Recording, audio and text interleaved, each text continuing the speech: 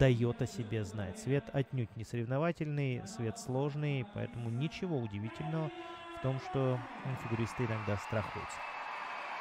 Но теперь давайте внимать невероятным совершенно шумовым эффектом а, от публики, ведь на льду снова умопомрачительная Каролина Костнер, чемпионка мира 2012 года, обладательница бронзовой медали на играх в Сочи, будет представлять нам образ э, Таис.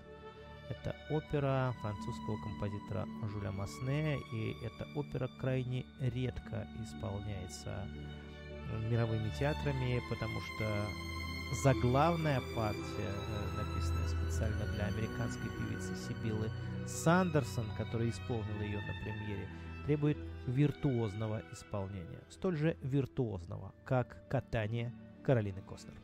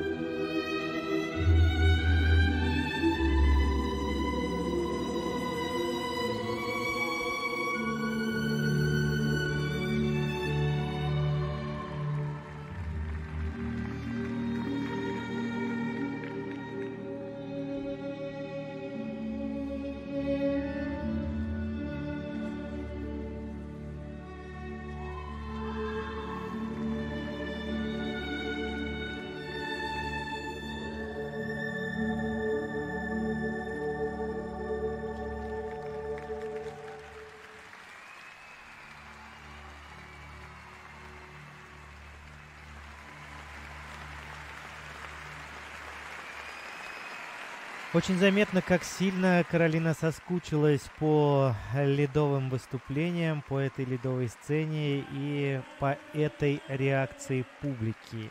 Невероятная спортсменка, просто фантастически преданная фигурному катанию,